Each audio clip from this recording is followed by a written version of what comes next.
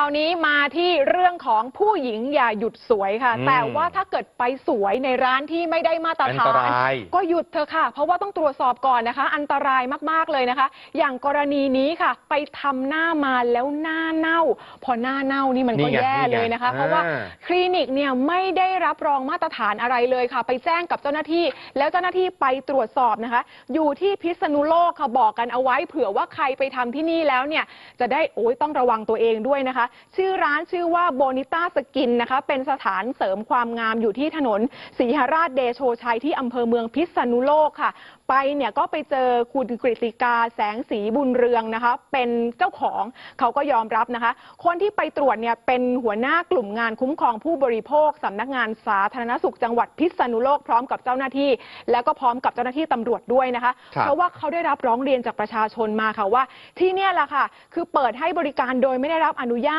แล้วคนที่เขามาเสริมความงามที่นี่เนี่ยได้รับผลกระทบจนถึงขั้นหน้าเน่าเลยนะคะอืมก็เลยไปร้องต่อศูนย์ดำรงธรรมนะคะ บอกว่ามาตรวจหน่อยค่ะ เพราะว่าดิฉันเสียหายมากนะคะ เบื้องต้นไปตรวจค้นก็ไปเจอว่าสถานความงามเนี่ยนะทำหลายอย่างเลยนะ ไม่ว่าจะเป็นฉีดฟิลเลอร์ให้หน้าเด้งนะคะ ไม่ว่าจะเป็นฉีดโบท็อกซ์แต่ว่าร้านนี้ไม่มีใบอนุญาตนะคะ แล้วก็ยังไปเจอยาต้องห้ามอีกหลายอย่างด้วยค่ะ เป็นแบบสถานพยาบาลที่ไม่ได้รับอนุญาตนะครับ แล้วก็มียาอยู่เยอะ มียาทั้งพวกโบท็อกซ์ฟิลเลอร์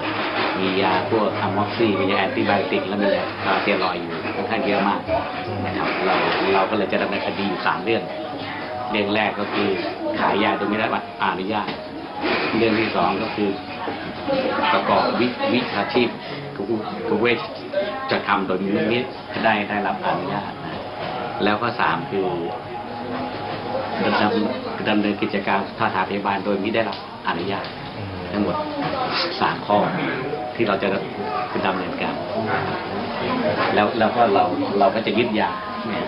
ยึดยึดยาที่มีอยู่ที่ เนี่ยนะคะก็ยาพวกเนี้ยค่ะจะยึดเอาไว้แล้วก็เอ่อจะนำไป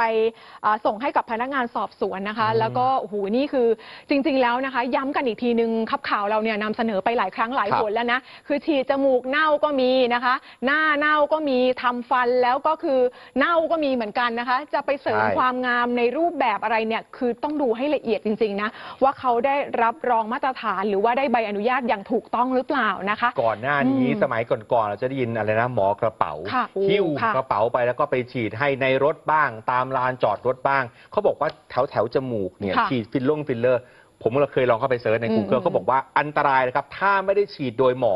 มันมีโอกาสที่อาจจะไป ไปไปมีปัญหากับสายตาได้ ใช่ค่ะเพราะฉะนั้นย้ำนะครับว่าจะทำอะไรกับใบหน้าอย่าดูเฉพาะเรื่องของราคาอย่างเดียว อืม ให้คิดถึงความปลอดภัย เพราะถ้ามันเกิดอะไรขึ้นมา แก้ไขได้จริง แต่ว่ามันจะไม่กลับไปร้อยเปอร์เซ็นต์เหมือนเดิม เพราะฉะนั้นอย่าเสี่ยงจะดีกว่านะครับ ค่ะ